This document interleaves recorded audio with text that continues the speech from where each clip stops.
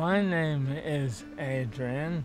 I have a type of motor neuron disease and affects my voice and my left arm and left leg. When I was diagnosed, the MND nurse said, live your life as you want to, as normal, but remember, this is as good as it gets. So, I thought then it's up to me. I have always been an outdoors person, so I continue to walk.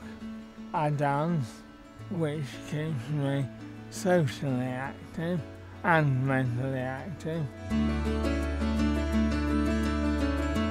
When I'm dancing, I have to put in non-standard steps because I can't do the ones I used to. And if I go off balance, I have my wife to hold me. I do a nice, elegant sway, uh, but actually I'm falling over.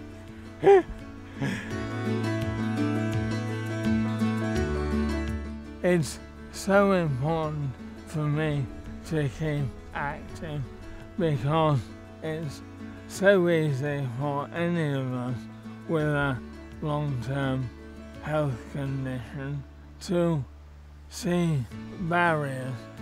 I would say do what you can when you can with whatever guidance and support you can get.